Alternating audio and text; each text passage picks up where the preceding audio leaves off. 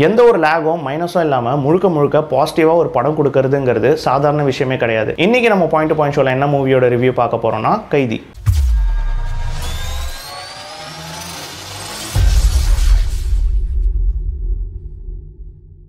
கைதி நம்ம தமிழ் சினிமாவுக்கு ஒரு எக்ஸ்பெரிமெண்டல் ஃபிலிமாக இருந்தாலும் லோகேஷ் கனகராஜுக்கு இது ரொம்பவே ஒரு சேலஞ்சிங்கான ஃபிலிம் தான்.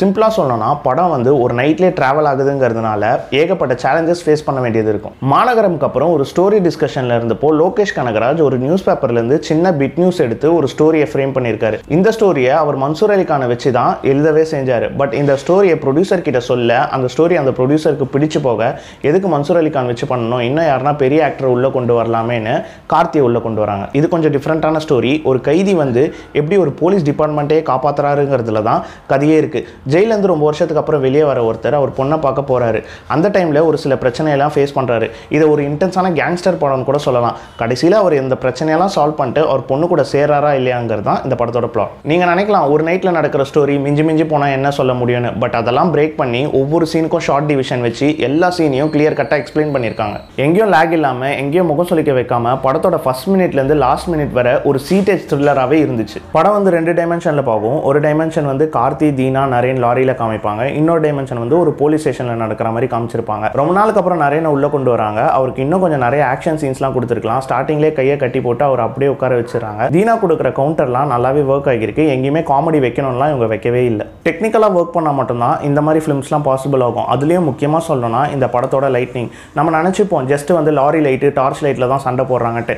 ஆனால் அவங்க லைட் யூஸ் பண்ணியிருக்கோன்றத தெரியாத அளவுக்கு யூஸ் பண்ணியிருக்காங்க அதுக்கப்புறம் படத்தோட சவுண்ட் நைட்லேயே நடக்கிறதுனால அந்த டைமில் அந்த லொக்கேஷன்ஸில் நைட்டில் என்னென்ன சவுண்ட்ஸ்லாம் நடக்குமோன்றத கிளியராக கேப்சர் பண்ணியிருக்காங்க ஒரு சீனில் கார்த்தி பேசும்போது பின்னாடி வந்து நெருப்பு சவுண்டு கேட்கும் அந்த சீன்லாம் அவ்வளோ கிறிஸ்டல் கிளியராக இருக்குது டன் மாஸ்டர் அன்பறிவு. படத்தில் ஏகப்பட்ட ஆக்ஷன் சீக்வன்சஸ் இருக்குது இன்டர்வலுக்கு முன்னாடி வர ஃபைட்டு இன்டர்வலுக்கு அப்புறம் வர ஃபைட்டு அப்புறம் கிளைமேக்ஸில் வர ஆக்ஷன் சீக்வன்ஸ் இதெல்லாம் வேறு லெவலில் இருக்கும். ரொம்பவே ரியலிசமாக காமிச்சிருப்பாரு. எதுக்குமே பில்டப் ஷாட்ஸ்லாம் வச்சிருக்க மாட்டார். இந்த படத்துக்கு பெரிய ப்ளஸ்ஸே ஸ்டன்ஸ் தான். சினிமாட்டோகிராஃபி சத்யசூரியன் இவர் இதுக்கு முன்னாடியே கார்த்தியோட தீரன் அதிகாரம் ஒன்றில் ஒர்க் பண்ணியிருக்காரு. அதில் ஏகப்பட்ட நைட் ஷாட்ஸ் வரும். அதெல்லாம் அவர் அவ்வளோ ஈஸியாக கேப்சர் பண்ணியிருப்பார். பட் இந்த படத்தை பொறுத்தவரை எமோஷன்ஸாக இருக்கட்டும் ஸ்டன்ஸாக இருக்கட்டும் சேசிங் சீன்ஸாக இருக்கட்டும் எல்லாத்தையுமே ஈக்குவலாக பேலன்ஸ் பண்ணி அழகாகவே கேப்சர் பண்ணியிருக்காரு. ரொம்பவே ஸ்ட்ராங்கான ஒரு கேரக்டர் செலெக்ஷன் லாஸ்ட் மினிட் வரை ஒரு ஹார்ட் பீட் சென்டிமெண்டலில் சொல்லியிருக்காங்க. ஒரு ஆக்ஷன் த்ரில்லரை எக்ஸலண்ட்டாக ப்ரெசென்ட் பண்ணியிருக்காங்க. போலீஸ் ஆஃபீஸராக வர ஜார்ஜ் மரியான் தான் படத்தோட பெஸ்ட் சப்போர்ட்டிங் ரோல்னு சொல்லலாம். அந்த கமிஷனர் ஆஃபீஸ் உள்ள நடக்கிற சீன்ஸ்லாம் அவ்வளோ கிரிப்பிங்காக இருக்கும். படத்தில் சாங்ஸ் இல்லைன்னு தெரிஞ்சதுனால பிஜிஎம்க்கு அந்த அளவுக்கு இம்பார்ட்டன்ஸ் இருக்குது சீனுக்கு சீன் சாம் சிஎஸ் தெரிக்க விட்டுருக்காரு.